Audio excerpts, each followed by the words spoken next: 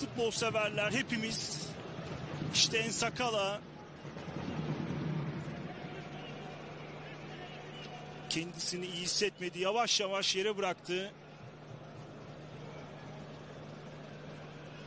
Necip hemen koştu. İlk müdahaleyi yapmak istedi. Sonrasında sağlık görevlileri geldi.